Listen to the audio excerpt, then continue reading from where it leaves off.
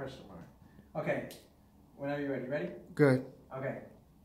This right here is the projected mock lottery draft. What is a lottery draft? The lottery draft is basically the worst teams in the league from the season before. They give, essentially, it's the the, the bottom half of the league. So there's 30 teams in the league, the bottom 15. But in the lottery, you really don't want to focus on the top 10. If you have a top 10 pick, then that means you have the chance of drafting the best player out of college. Right now, the number one player in the country out of college is Zion Williamson. Zion Williamson plays for the University of Duke. He was the number one player in the country coming out of high school, and he's a freshman in college right now, and he's still the number one player coming out of college. He's gonna be in the NBA next year. There's no reason for him to stick stick around in college. He's clearly the best. He's clearly at a pro level already, so he's going to the league next year.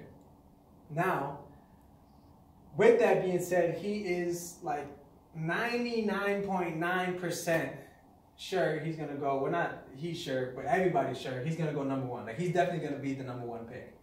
So the question isn't exactly where is Zion gonna go, because whoever has the number one pick in the draft, this upcoming draft for 2019, is basically gonna draft him.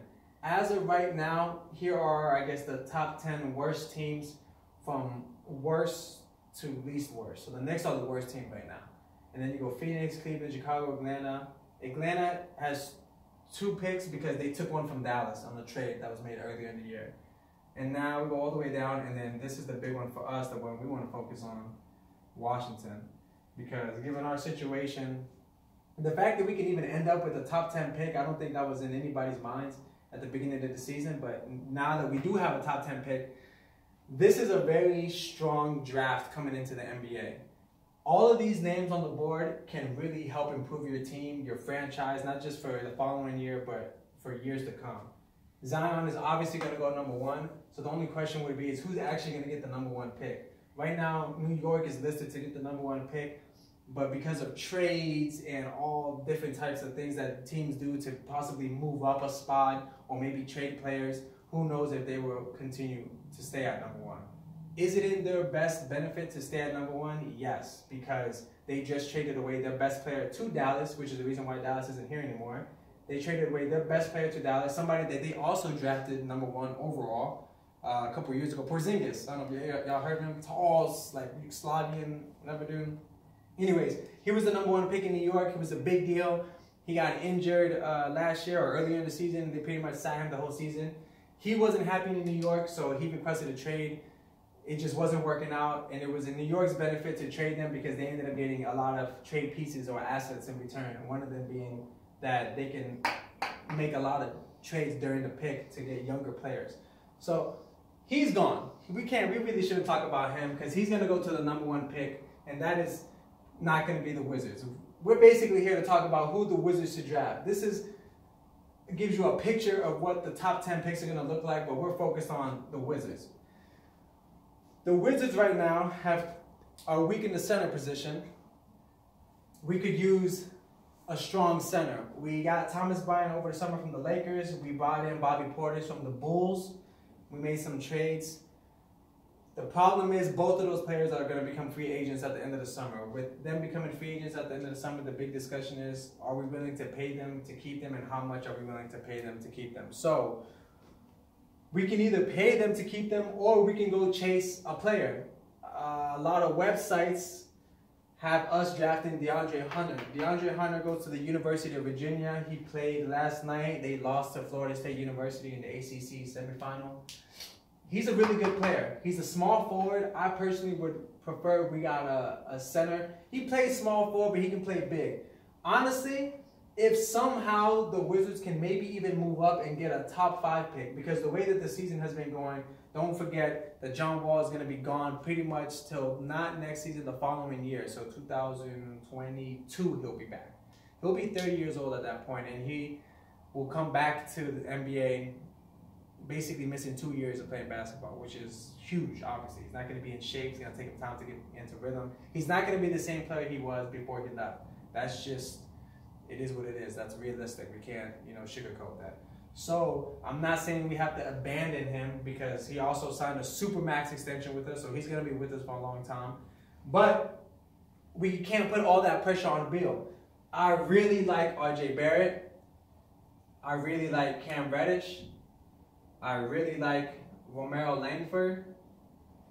And honestly, I like Ja Morant as well, but him along with Zion, I feel like are both probably gonna be top three picks. Ja's really good, like really good. He doesn't get spoken about too much because he goes to uh, Murray, Murray State University, which is they're not the best basketball team when you compare them to like Duke, University of Carolina, UVA, Clemson, Syracuse. They're not up there, but he's a talent and he's definitely going to be in the league and he'll probably definitely be a top three pick. Can the Wizards go up and get him? We would have to get, I think, a top three pick in order to get him. I don't really see that happening. I don't think we have enough assets to be able to get a top three pick.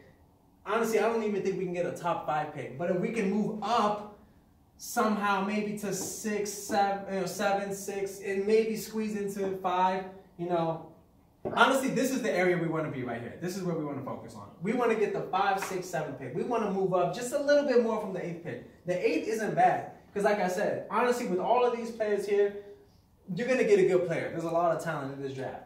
But if we can move up and somehow, somehow sneak away and get RJ Barrett, Cam Reddish, Romeo, I don't think John's going to be there, but if somehow he falls and we could get him, these are all extremely good players that will help our team immediately. Not how we're doing Troy Brown Jr. right now. We have a player that we drafted last year. He was the first round pick, 15th overall and he's in a perfect situation right now to get a lot of minutes, to get some experience with the team, and we just simply don't play him. It's not like he's not athletic. It's not like he's not talented enough. Clearly, he's good enough to be in the league. He's been playing for us every now and then. He'll get a few minutes, but he needs to play a lot more. He needs to get a lot more playing time, especially as a rookie. Like the only way that they're going to develop is with playing time. So these are the type of guys that there's no hesitation in terms of should he start or should he not start you can throw him in, in the rotation immediately. So, like I said, if the Wizards can move up to a five, six, seven pick, I'm not mad with the eighth pick. I'm not mad. I think that's okay. I think the fact that we even got a top uh, top ten pick in the draft would be extremely, you know, that's a, that's a boost. But I think these three players that I circled would make an immediate impact on us. Now, don't forget, we still have Jabari Parker that I think we should re-sign more than re-signing Bobby Portis, more than re-signing Thomas Bryant, just because he's so young. Thomas Bryant is young too, but I think you should only commit to Thomas if you're really going to commit to him. We shouldn't throw all this money to players and not commit to them. These are the picks that we need to get. The Washington, Washington Wizards have the number eight pick overall. Like I said, if we can keep moving up, if we can take one of these players, that'd be great. Zion is off the board, so forget about him. I would honestly gladly take DeAndre Hunter, DeAndre Hunter. I'm not mad about it. If we end up with him, I'm not mad. He's a great player as well.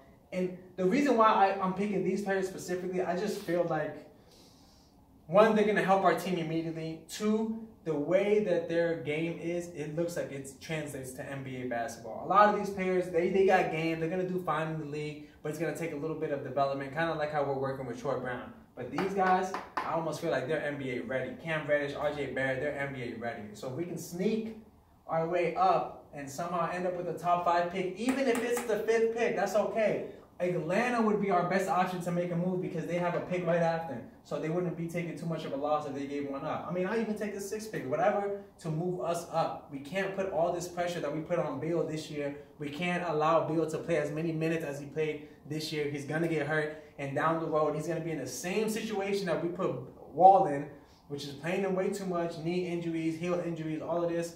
And no player is going to admit to an injury. If they feel okay enough, like Wall and like every other player that's competitive, they're to play through the injury if it's only a nick. But those nicks add up. And next thing you know, you got a long-term injury. I'm Inside Stuff Miguel, aka the DMV Whiz Kid. This has been an NBA 2019 mock draft. Bang.